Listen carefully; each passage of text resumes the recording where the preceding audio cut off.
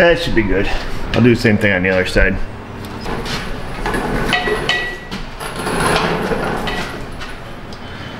Okie dokie.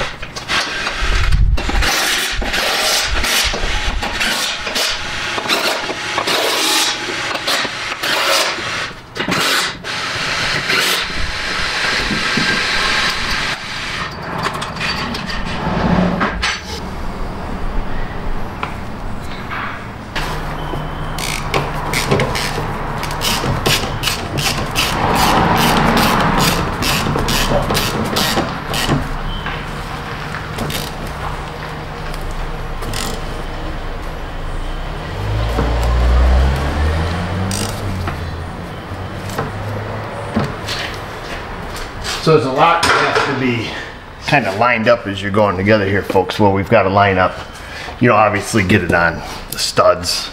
You've got the front motor mount there. Make sure that's kind of centered. You've got to hit your two side motor mounts on the way up with the studs. You've got to line your steering shaft up. It's a whole lot easier to get that steering shaft instead of trying to figure it, fiddle around with the clatch joint. You know, get it started and then finish putting your um, frame up in, and then of course uh, the ball joints going into the knuckles. So I got them in, and then uh, I just put the bolts in there. Everything needs to be, you know, final tightened down at this point, but it's really not too bad. When you get it about where it needs to be, you just start fiddling a little, put some bolts in it, hold them light. But I wanted to tighten that steering shaft before I uh, before I forgot about that. That's one bolt you don't want falling out, I'll tell you that. Let's get our torque specs and zippy zap this thing down.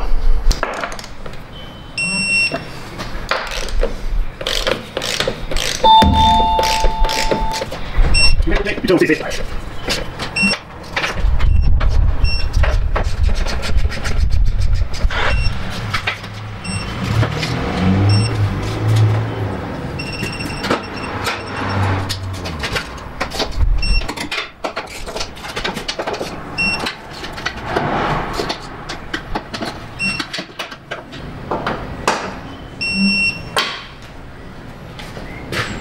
think that's all of them. Uh, let's go around here and have a look see. Not real tight to be honest with you. These uh, these big old honkers are only 55 foot pounds. So you got the three there, we've got three here. Same thing with the front ones. Pretty good sized bolt for like 55 foot pounds. So those are all in. And then the two here in the upper mounts, those aluminum mounts. And I think we're good. We've got our steering shaft back in, our paint marks lined back up. Our motor mounts are just started up in there. So that's good. And then our front engine mount is just starting up it. We gotta let it down. Let that down, then we can put our exhaust back on now. This half of that flange doesn't look horrid. Where's our other one? Oh, here. This one down here, however, is disappearing on us. I do have a whole new flange for it. I thought for sure it was just going to crumble into a million pieces, or at least two or three pieces. All right, well, I might have to call it quits for the day. I've got me a dental appointment. Oh, not yet. We gotta do that. We gotta torque them ball joints. Ding dong. That's the problem putting bolts and stuff when you don't tighten it down. Let's torque them before they get forgotten. I think it said they were 37. Yes, there's that one. What a good thing we came over to talk about. This is why we do this. This is why we come to talk about things.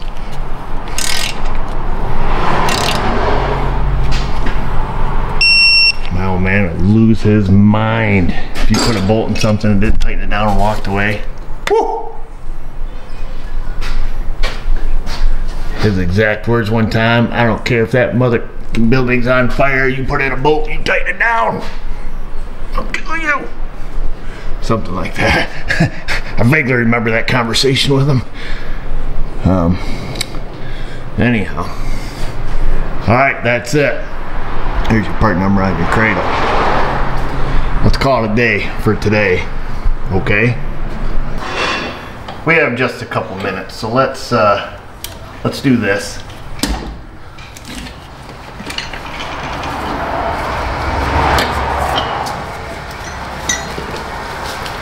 Set this little guy down.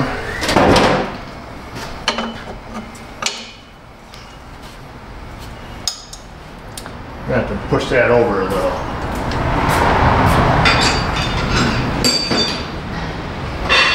Down here in the front.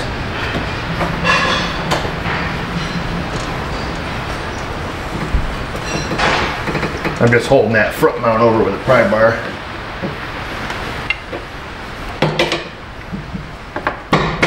There it goes.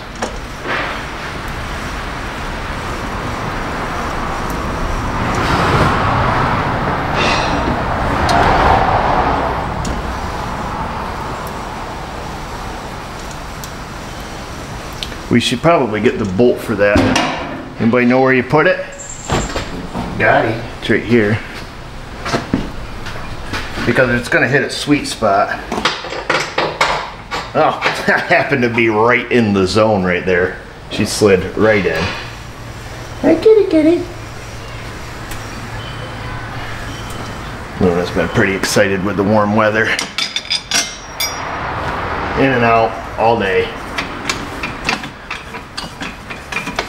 I went ahead and put the nuts on the motor mount. Pretty easy, pretty standard stuff. Tighten those up. The mount in the front there, not in a bolt. We when we were letting this down, we put the bolt in, so I put the nut on that, and then just put the uh, air filter tube. So we're gonna go back underneath this thing, and we're gonna tackle the exhaust today, get that part done, get the plastic jiggly bits stuck back on, and then we've got to move on to do the brakes to get the car pass inspection. Case you don't believe me or we have trust issues, so we put that motor mount bolt in. Of course, that one down there in the front that lives down there, and then the other one that was right over here somewhere. So can't find it in viewfinder, but trust me, it's here. Uh, that one there. Oh, I suppose the other thing we had to do was hook up the uh, power steering line. That there, just put that fitting back in. and I don't think I ever came through and tightened this up, did I? I did not. Look at that. Busted. So I've got to finish uh, tightening that up. I think that's it. Should have took my dad's advice.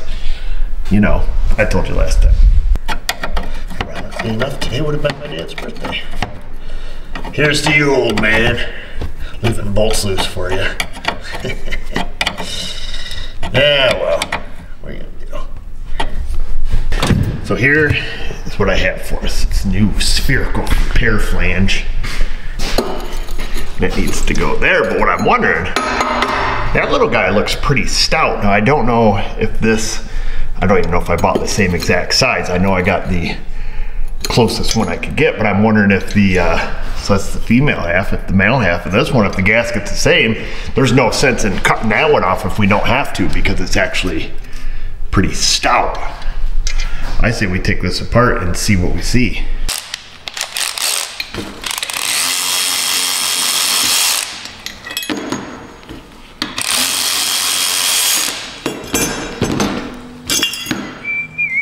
I think they're probably pretty universal to be honest with you. I'm gonna have a little look. Dingy dingy dingy.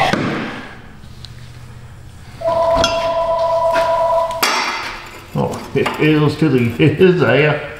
Ah, this one's just a scotch bigger on the flange there.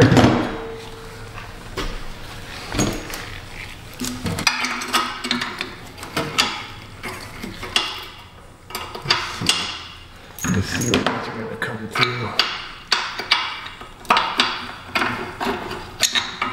That one would come through there. Well.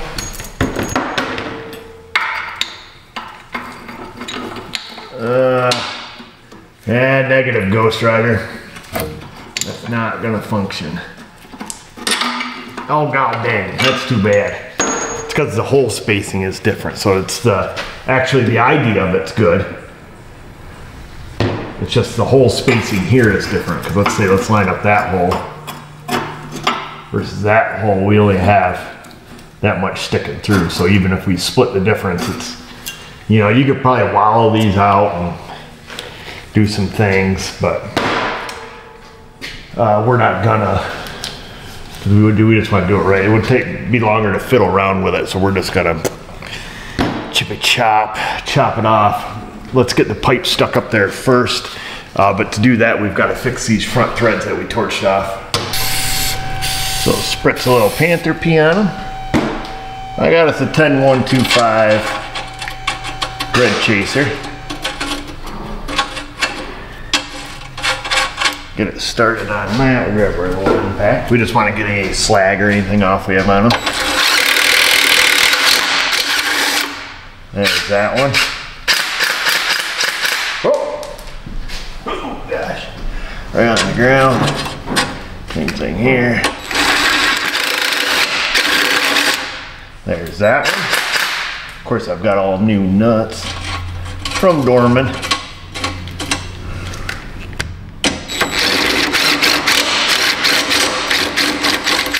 There we go. It's classic Dorman slash Rockford. Not really sure. Not really sure what's going on there, but I like using these ones. They're the flange nuts. It's got the self-locking little teeth on them. We'll keep a few of them around. If right in the world, they'll spin right on, and they do. Okay, let's grab the pipe and temporarily toss it up there.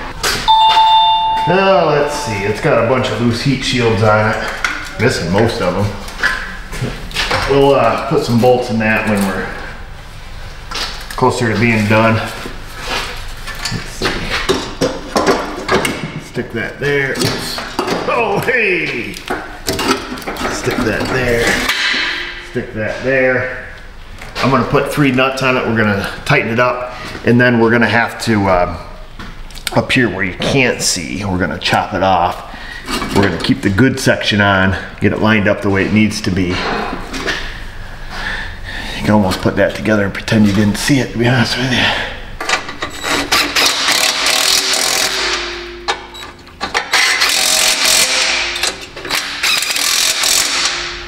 There we go. Let's get the saws off. Like you say, she's it's pretty crusty and falling apart, but technically we could put it back together. It would probably seal fine, but it's kind of one of those things, you know. Pay me now or pay me later, isn't that what they say? That's a pretty common problem on these Subarus. Usually they're a lot worse than that.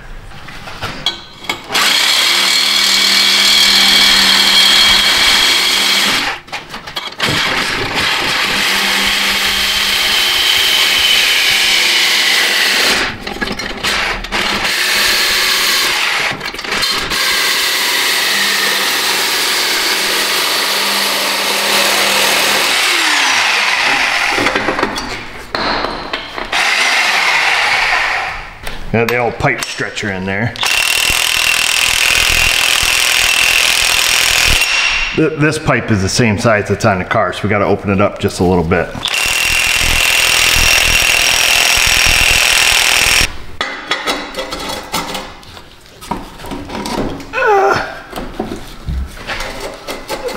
What I want to do is I just want to have it oriented correctly in case in the future he ever, he ever replaces this resonator and has to buy that. It comes with the flange. You don't want to just put it, you know, wherever. So we're just gonna get it really, really close. There is some, a little bit of give, if you will. All right, looks like those holes are lined up good. You could probably choose at this point to just clamp this if you wanted to. It's a good enough fit. It might look kind of silly with, you know, a couple clamps and stuff, but if you're just DIYing it, Heck yeah. That's good for my house. I'm gonna put just a little bit of out pressure on it here, just because we don't have the gasket fully seated in there, you know what I'm saying? So we're gonna push out on it just a little bit, right there. All right, close your eyes.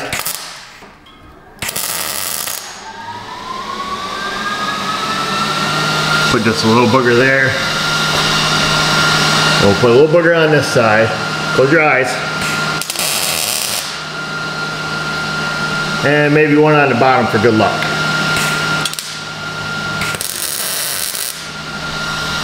Totally missed because I wasn't even looking at it. Good that time? Looks like we did. Yeehaw. So, chop it off. That pipe there is flared out a little bit. Well, we'll cut it off. We have plenty. You got a lot to play with. And that's gonna go, it's gonna go just about to this curve anyways, providing we don't, we don't chop it off. So I'm gonna say we're gonna cut past that flange, okay?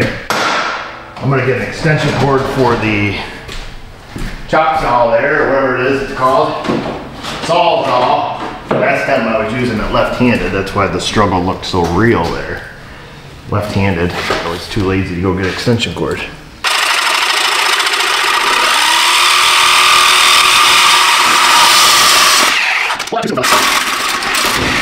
You mother. What the what's going on here? Well, I know one thing. We're gonna take the gasket off before we frickin' destroy it. Whoa! Drop it right on the floor. The amateur hour, folks.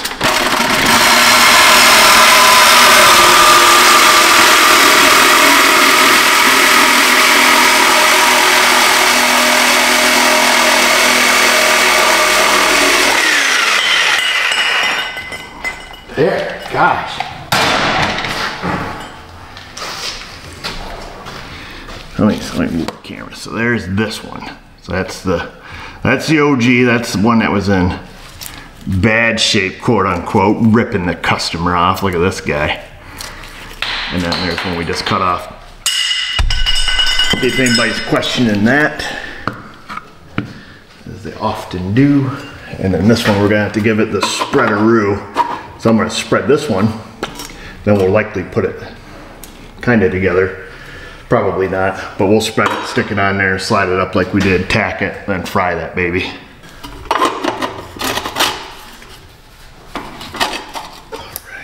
That.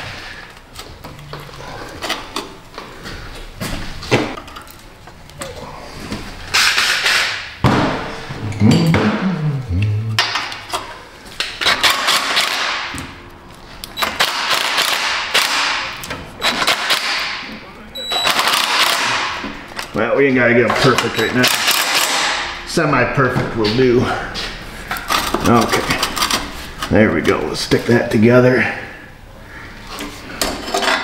Our ground a little bit closer. Okay. Get our flange absolutely perfect. Make sure there, none of the rest of the exhaust is all droopy drawers here. This goes. Okay, who's ready? Are we recording? Look at that, we are. Okay, close your eyes again. Not gonna lie, I look straight at that.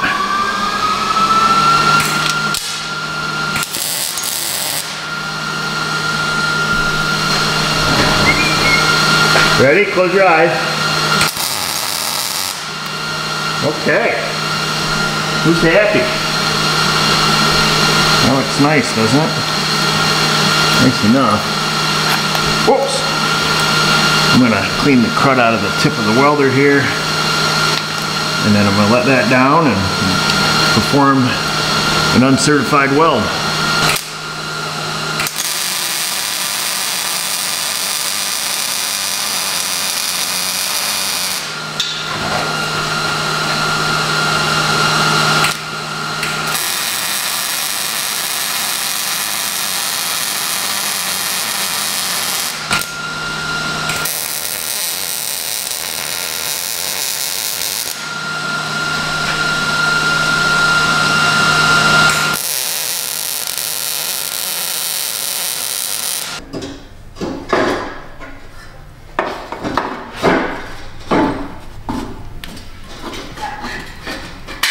There it is, boys.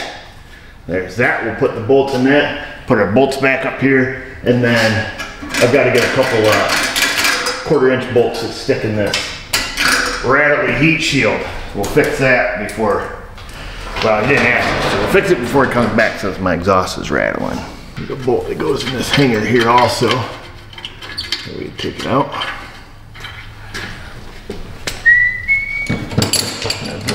This right side here. Oops, that's going backwards.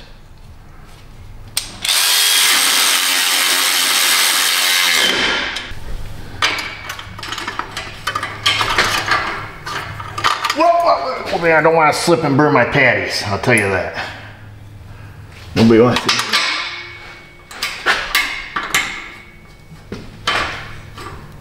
There's that one. Whew, feel the heat up here. Mm. That one scares me too much. So I just used some quarter by three quarter bolts here. Now this will lose you points at the car show if they see the American threads down here, so be warned. I don't know if this guy puts the mirror under it when he takes it to the show or not, but it's missing the bottom half of the shield. I'm pretty sure these are usually fully covered. I could be wrong. There's that, and then he's got the old classic hose clamp on the front, so should be good now. Subaru dealer finally showed up. Brought us our link. Get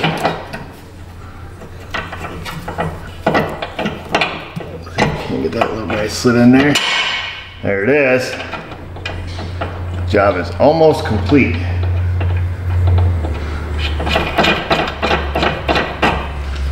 And then we'll tighten these up. I don't remember what these were, 44 foot pounds or something like that.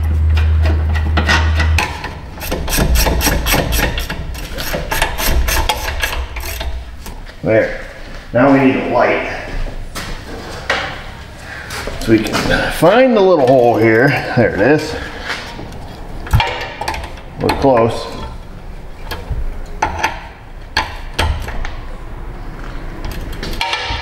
There it is. We'll get a car key and put it in there. That one's in.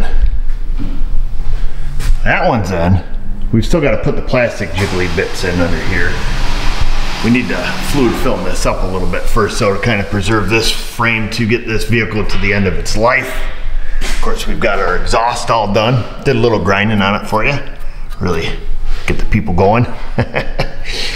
bolts tight. I don't think we've forgotten anything at this point. We've got our other sway bar link in. I think we've done everything, folks. I think this job's pretty well finished. We reattached his heat shield. I think that's it. I think what I'm gonna do is we're gonna spritz it with a little fluid film. We're gonna wrap this thing up. I'm gonna give it to my boy Josh to get the uh, alignment done so he can crack that out for me first thing in the morning. And then I'm gonna finish the brakes on it and uh, whatever else this thing needs for inspection. But folks, if you guys have a car, do not put this Ziebart crap on here. That's what it's about. This is some pretty bad stuff. It looks like this car's only had one treatment, treatment if you will, but boy, it's some bad stuff, man. It rots these things out at twice the rate, especially you start getting on components like your subframe and stuff, man. These things will completely disappear underneath that. Always use fluid film, Krown, New Hampshire oil coating, something, some oil-based product.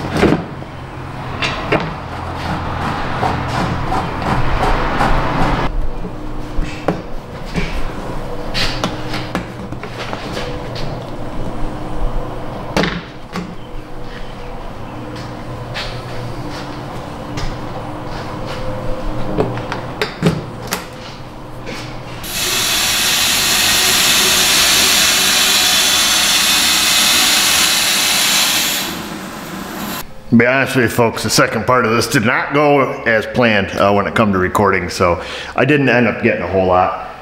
Either case, I've got to get rolling. Uh, I've got to get this thing fixed and actually back to the customer. Got to finish the brakes we've already talked about, but as far as the subframe video and fixing the exhaust, I think I've delivered on that, or at least most of it. Uh, not really too bad of a job to do on these Subarus, to be honest with you. Uh, it's one of the easier subframes to change. Now we just did a video on a Prius and that one was pretty easy. The Mazda wasn't too bad. Uh, but these are, are pretty easy. They're pretty straightforward. Stuff is right out in the open where you can get to it, which is really nice. And then all the bolts were friendly, which was super nice. And then we preserved her with a little bit of the, the fluid film. Now I do have a broadcast gun for the fluid film. You guys might have noticed that I use that to spray up inside the cavities. It just, you know, kind of fogs but it, for doing just the subframe, it works pretty well. Obviously, you wouldn't want to do a whole car with that. It's just, you know, usually for getting up in the cavities, hosing it down. But this subframe will surely outlast this car at this point, unless the guy moves south. um, I don't really know much more to say. I probably won't bring you along on the brake job at this point. Um, I've got some work stacking up out there. We've had quite a few cars towed in. And then I've got stuff left over that we've been waiting on parts for that everything's kind of showed up at once. So it's a real shit show around here, if you know what I mean. That's it. I'll see you guys in that comment section. Let me know what you think down there. Questions, comments, Insta, Facebook. You know where to find us, folks. And just remember, viewers, if I can do it, you can do it. Thanks for watching.